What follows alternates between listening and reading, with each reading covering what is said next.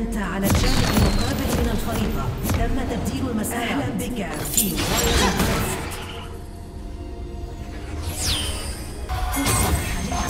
في الطريق.